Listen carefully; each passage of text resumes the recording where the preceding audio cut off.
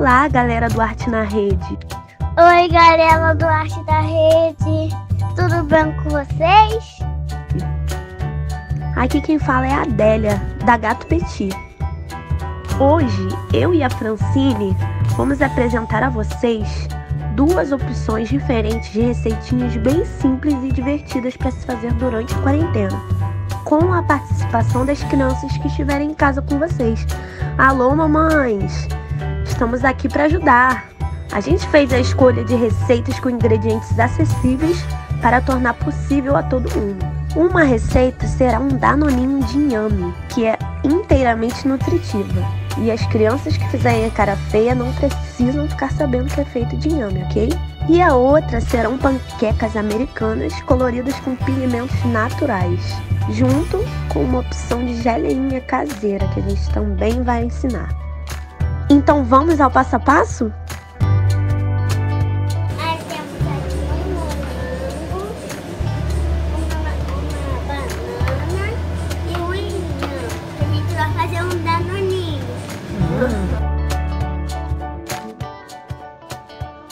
O inhame é um legume muito rico em várias propriedades. Não é toda criança que gosta e nessa receita ele fica bem escondido.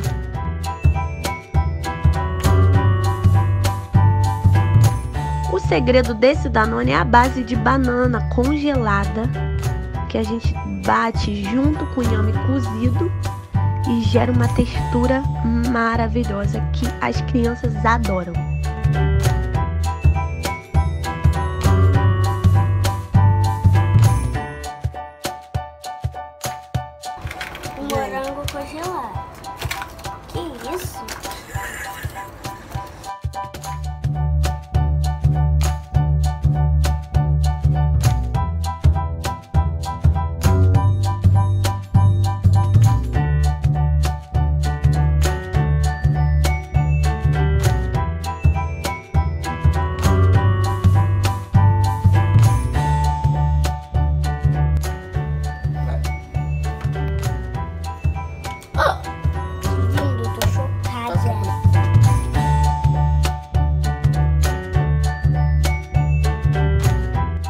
Danone é um truque para dar um gás na imunidade da criançada.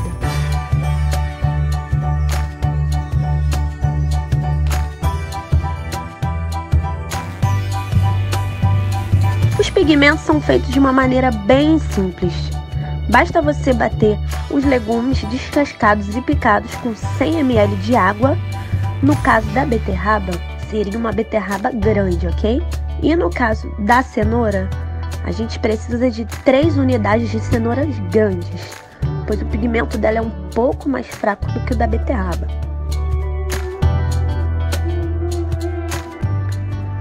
Depois de coar o suco da cenoura, basta colocar em um pote, fechar e levar à geladeira para esfriar.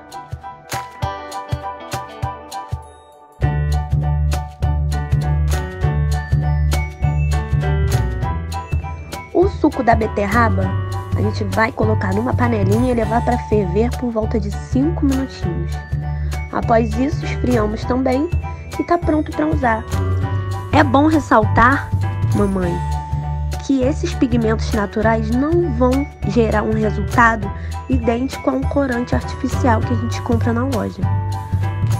Porém, é uma boa opção e muito mais saudável para a gente largar de mão os corantes na hora de colorir as comidinhas para nossas crianças.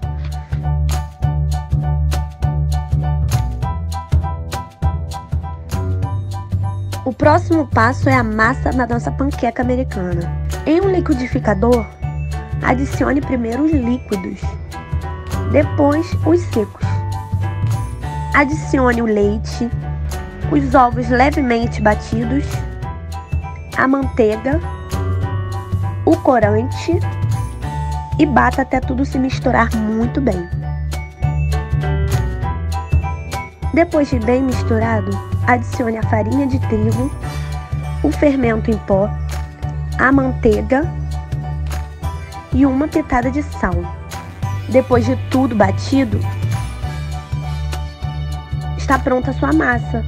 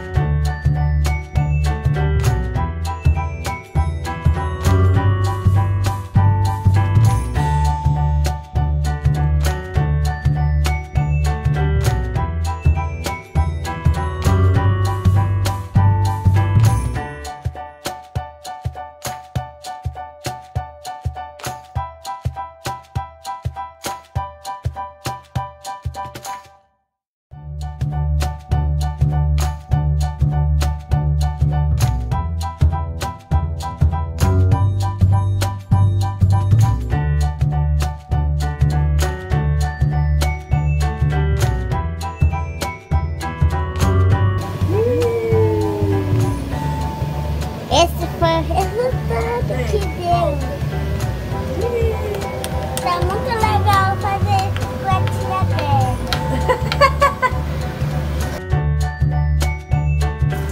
Eu tô fazendo uma panqueca.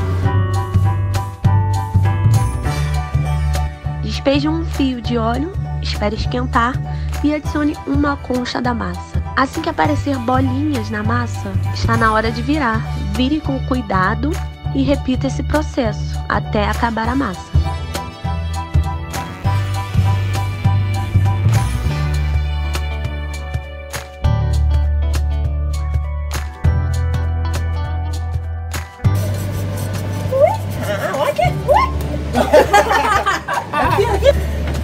que isso, tia Adélia? Hum, tá gostoso? Tá bom? Tá muito bom. É. Agora Você, você que fez? foi. A geleia também é bem simples de fazer. A gente vai fazer gelatina? Geleia de morango. Leve numa panelinha para o fogo com 150 ml de água e leve para ferver em um fogo médio. Quando achar um ponto bacana e uma textura legal, desligue o fogo, coloque em um potinho e leve para gelar por no mínimo uma hora. Sua geleia vai estar pronta, sem adição de açúcar.